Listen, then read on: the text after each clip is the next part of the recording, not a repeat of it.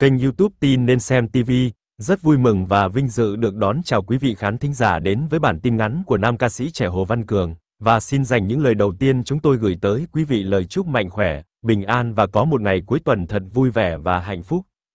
Thưa quý vị có câu, ăn cơm mới, lại nói chuyện cũ, sau những gì mà nam ca sĩ trẻ Hồ Văn Cường đã làm với tâm nguyện luôn biết ơn và chia sẻ.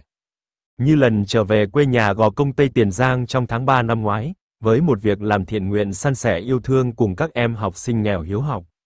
Và mới đây, nam ca sĩ cũng truyền lửa lan tỏa yêu thương qua chương trình Ước mơ của mẹ đường đến trường có hoa. Có thể khẳng định rằng, Hồ Văn Cường là một cậu bé có tài năng và đạo đức hơn người. Thế nhưng, con đường theo đuổi ước mơ ca hát và chạm ngõ thành công của cậu, luôn gặp những tai tiếng không đáng có. Và để có một góc nhìn đúng, thật sự thiện cảm, hiểu và thương nam ca sĩ trẻ Hồ Văn Cường, chúng tôi xin chia sẻ bài viết của một nam nghệ sĩ.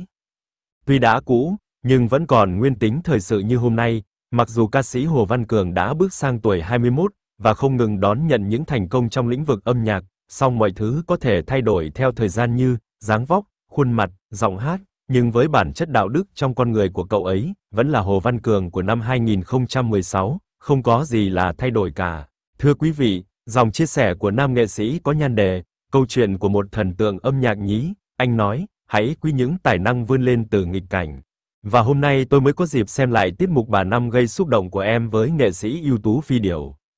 Điều khiến tôi dâng trào cảm xúc về em, đó chính là ba câu chuyện nhỏ sau đây mà tôi được biết và muốn viết vài dòng chia sẻ. Thứ nhất, sau đêm đăng quang, ekip chương trình tổ chức một buổi tiệc buffet chiêu đãi mọi người, cậu bé đã cố gắng với lấy thức ăn, và mọi người cứ đinh ninh là do cậu đói sau đêm diễn, nên lấy đầy thức ăn cho mình, thế nhưng, cậu lại cầm đĩa thức ăn để mang đến cho nghệ sĩ Phi điều đang đứng ở một góc phòng. Đây là một chi tiết khiến tôi rất yêu quý cậu bé này, đôi khi trong cuộc sống, khi thành công, chúng ta thường quên đi hai chữ, biết ơn và chia sẻ. Tôi làm nghệ thuật, cái nghề lắm vinh quang nhưng cũng đầy bạc bẽo, tôi cũng từng chứng kiến nhiều người khi đạt được những thành công và vinh quang trong đời mình, thường quên đi mất những ân nhân đã giúp họ có được vị trí và thành công trong cuộc sống. Có thể đây là một hành động rất nhỏ, nhưng tôi chắc không phải ai trong khán phòng kia cũng nghĩ tới nghệ sĩ phi điểu và mang thức ăn đến cho bà. Tôi biết chắc chắn, bà rất ấm lòng vì sự quan tâm của cậu bé Hồ Văn Cường. Mọi người có thể nhìn thấy sự thành công trong tiết mục bà Năm, có phần đóng góp không nhỏ bởi sự diễn xuất quá xúc động của bà. Cậu bé là người rất để ý tới chi tiết nhỏ, nhưng rất tinh tế như thế này. Sự thành công của cậu, có phần rất lớn từ sự phụ diễn của bà. Tôi cảm thấy sự biết ơn và biết quan tâm những người giúp mình thành công, là một tính cách rất đáng quý. Tôi đọc rất nhiều câu chuyện về những ồn ào showbiz, về hiềm khích giữa thầy và trò, về sự đấu tố nhau, và cả những mặt trái của hào quang. Thú thật, tôi đọc đấy nhưng tôi chẳng quan tâm, và cái tôi không quan tâm thì nhiều người lại thích đọc nó, rating luôn ngất ngưỡng và không thiếu những bình luận thuộc hàng top về sự chê trách ném đá. Riêng cá nhân tôi lại thích những bài viết mang tính giáo dục, và ca ngợi cái tốt hơn, tôi thấy mọi người có xu hướng chỉ trích nhau, dù không phải ai cũng tốt, ai cũng giỏi, và sẵn sàng ném đá người khác. Tôi không đọc thấy những bình luận khen cậu bé về cách ứng xử này, tôi thấy lạ, và ngạc nhiên. Phải chăng, tôi đang sống ở một xã hội mà cái xấu lại được quan tâm nhiều hơn cái tốt?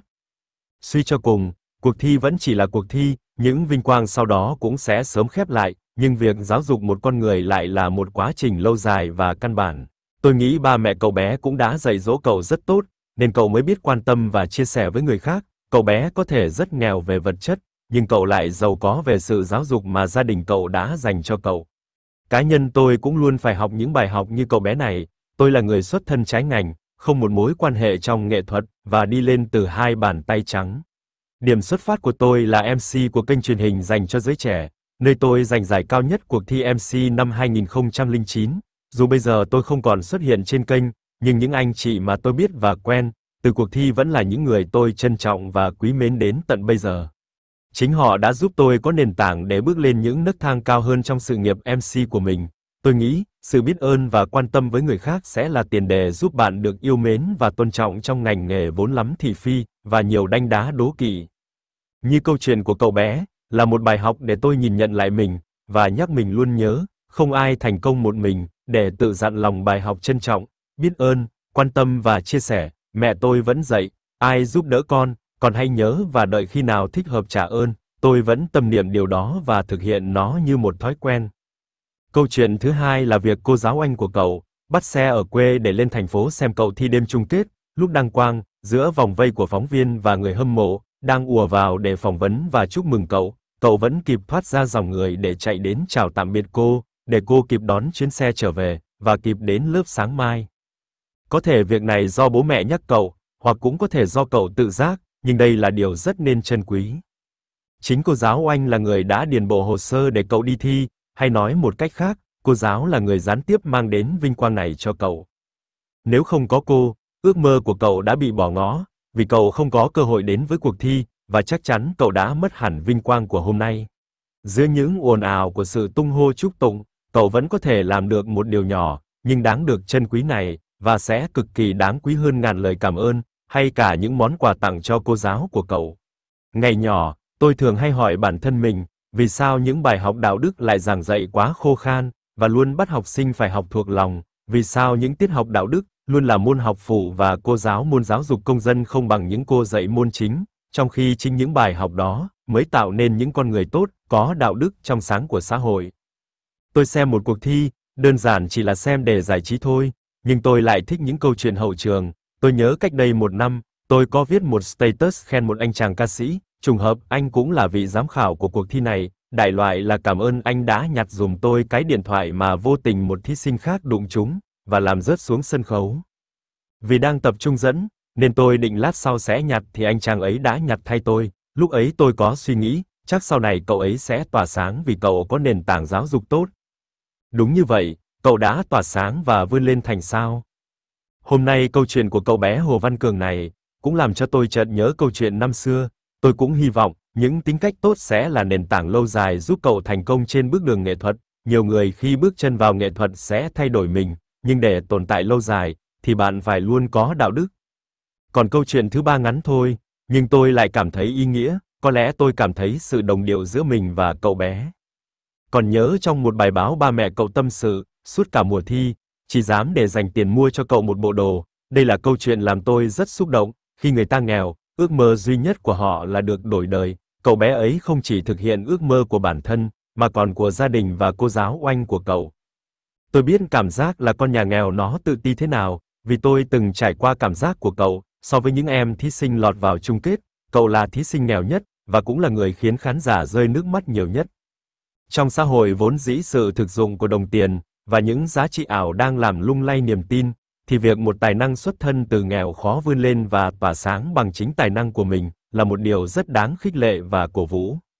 Sự đố kỵ và tị hiềm của con người đang dần giết chết những giá trị thật, những cảm xúc thật, Martin Luther King từng nói, trong thế giới này, chúng ta không chỉ xót xa vì những hành động và lời nói của người xấu, mà còn cả vì sự im lặng đáng sợ của người tốt, chúng ta ai cũng có lòng nhân khi bắt gặp đâu đó hình ảnh của những mảnh đời bất hạnh, thế tại sao không dang rộng vòng tay để yêu thương và giúp đỡ những tài năng trẻ như cậu bé này? Câu chuyện thứ tư, làm nghệ thuật nhìn đơn giản nhưng đó là cả một quá trình học tập, tài năng chỉ là một chuyện, đạo đức và nhân cách mới là cái quan trọng nhất của một người nghệ sĩ. Ánh hào quang của người nghệ sĩ, nó sẽ tồn tại phụ thuộc vào cách sống của họ trong nghề. Tôi rất ngưỡng mộ một người anh và người thầy của mình, dù đã lớn tuổi nhưng tôi thấy anh vẫn được rất nhiều người yêu quý trong nghề. Tôi thấy ở anh không chỉ tài năng và sự nhiệt huyết, mà còn ở cách đối nhân xử thế và năng lượng tích cực anh mang đến cho mọi người. Tôi cũng vậy, ai cũng nhìn vào và thấy tôi thành công, nhưng tôi thực sự nghĩ mình vẫn còn nhiều thiếu sót, đôi khi tôi vẫn phải học mỗi ngày để làm sao sống chan hòa và yêu thương mọi người. Thưa quý vị, dòng chia sẻ tuy dài nhưng rất chân thật khi nhìn và đánh giá những gì mà cậu bé ấy đã làm, ngày ấy và bây giờ. Tóm lại, hãy biết ơn người đã ươm mầm chứ không thể biết ơn người khi hái quả đã chín nhé. Xin trân trọng và cảm ơn quý vị khán thính giả đã dành thời gian để nghe chúng tôi dẫn chuyện. Xin kính chào tạm biệt và hẹn gặp lại.